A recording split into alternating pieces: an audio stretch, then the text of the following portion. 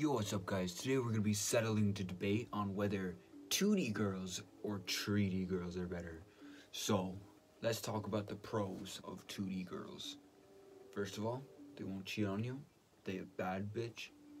Second of all, they got big titties or ass, whatever you're into, whatever, whatever preference. And three, they're awesomely hot. Alright, now let's talk about pros about 3D girls. Number one, they're real. Uh, yeah, that's about it. Um, uh, now the cons. Cons of 2D girls, they don't exist and you can't touch them unless you get a cardboard cutout or, you know, like a body pillow or something. You know, cons of real women. They will cheat on you.